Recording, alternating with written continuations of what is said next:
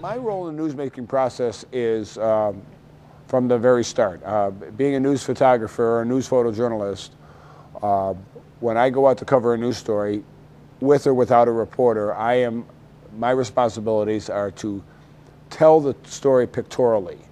Uh, it, so that's how that's one of the ways I'm challenged. Um, now, if it there's different types of news stories. There's obviously breaking news stories, um, set up news stories, follow up news stories, or news you know investigative news stories. There's a lot of different types of news stories. But a day in and day out news story, uh, I am my my responsibility is to tell that story story pictorially. Um,